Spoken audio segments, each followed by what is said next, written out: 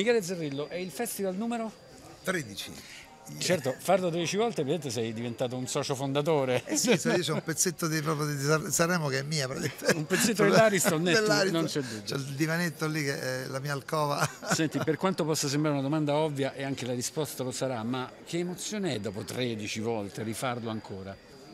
È forte, è, molto, è un'emozione molto la gente non ci crede che è così, mentre invece in è realtà così. sì, perché poi come pensa io eh, mi piace dire, usare questa frase in questo periodo no, in cui eh, io a Sanremo faccio sempre un passo indietro, no, nel senso proprio che mi piace far andare avanti tutti quelli un po' più yeah, tutti agguerriti eh, che, che, eh, che, fanno notizia, che creano gossip, che creano... Invece tu vai con la canzone e basta. Io la canzone tipo, li guardo, dico se me, me, me, li osservo, dico vabbè ci vediamo fra due o tre anni per vedere poi no, i, tabulati SIAE come, come, certo. che risposta daranno, perché poi quella, la, la, verità è che meno male che è così, perché a, a prescindere dai lustrini e da, dai fiocchetti no, che uno le può canzoni mettere, hanno vita propria. Le canzoni hanno una vita propria, la gente ama suonarle, cantarle, ascoltarle, viversele, per cui...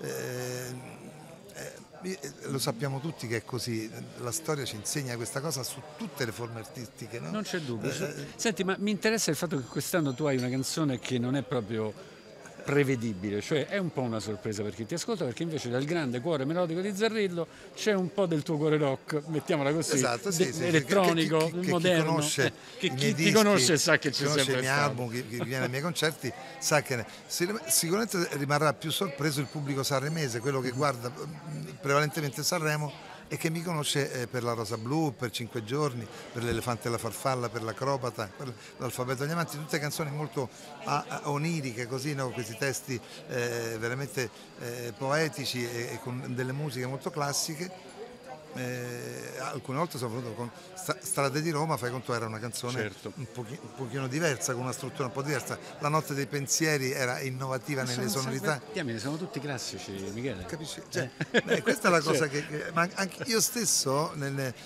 quando mi metto ad ascoltare i brani e, e, e, e, cito tutti questi titoli mi, mi imbarazza un po' perché dico allora, l'ho fatta io no, no, no, dico, ma ho, vissuto, ho questo vissuto, poi merito per mio di, di, di, chi ha collaborato con me, per carità, però eh, eh, avendo vissuto tutti questi Saremo e almeno 10 di questi 12 fino ad oggi sono canzoni che, che la gente sì, canta. È bello, è, è una, una, bella cosa, una, bella soddisfazione. Senti, il pezzo nuovo quando l'hai pensato? Perché non è pensato per il festival, no. è pensato per te.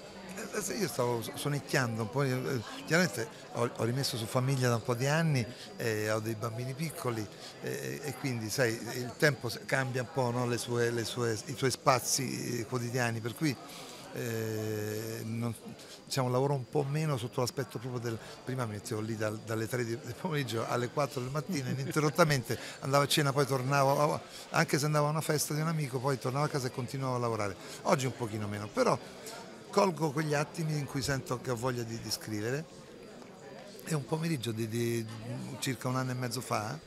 Stavo sonicchiando al pianoforte in, salone, in saloncino di casa mia e, e, e giocando poi eh, dico questa cosa è carina. E, sai, sulle memo vocali ormai va di moda no? eh, memorizzare tutto lì e, mentre facevo questa cosa, poi i miei bambini che me la canticchiavano dietro, aspetta, forse questa cosa è carina. Sì, forse funziona. Forse, eh, l'ho fatta sentire al mio produttore Canini, eh, eh, eh al mio manager, sono impazzito, ho detto, ma questa è fortissima. Dico, vedi, a volte giocando. Perché no? Senti, l'ultima cosa, cosa ti aspetti che succeda da questo festival in poi? Tu hai già avuto tutte le soddisfazioni possibili. Quale altra soddisfazione ti vuoi togliere? Guarda, uno che vive la mia posizione mm-hmm. musicale artistica, chiaramente la, la cosa che ha, ama di più è ed esserci, no? certo. è rimanere eh, nel, nel, nel, nell'immaginario collettivo, appunto stare dentro la vita delle persone musicalmente mm-hmm. e, e, e, riuscire a fare dei buoni concerti. Quella, quella, è la cosa bella. Mi sembra già un ottimo risultato. Sì, è quello perché fare Sanremo con un buon pezzo che, che arriva alla gente con, con una con un testo molto, scritto molto bene da Valentina Parisse eh, che, che, racconta giovanissima, una ragazza molto in gamba eh, con cui avevo già scritto Vivere e Rinascere eh, devo dire ecco que, questi piccoli cambiamenti mi stanno dando la, la voglia perché poi il nostro lavoro è fatto di stimoli certo. fatto di, bisogna comunque no perché la, la, la spinta è quella di riuscire a, poi portare sul palco quei 3-4 brani nuovi insieme ai classici che, che fanno, ti fanno restare fa- nella testa della gente.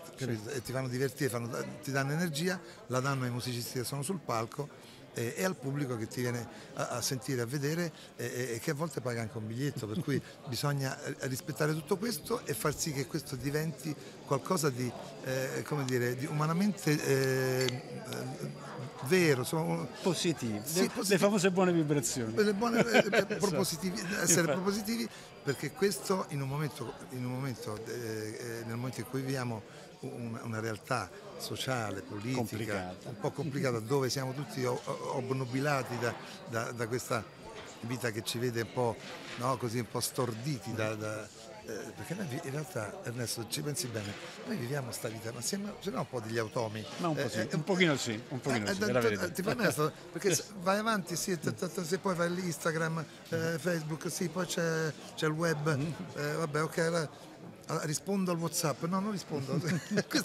Allora tutta la giornata che passa così, no? E meno male che noi facciamo dei lavori insomma, dove la creatività un po' deve, Certo. deve vincere su- sulla... Quindi diciamo che è un buon modo per interrompere un flusso che ogni Esatto, tanto va esatto. interrotto. Non usiamo termini più- più- un po' più Va brutti. bene, va bene così. Grazie. grazie a te, Ernesto, grazie.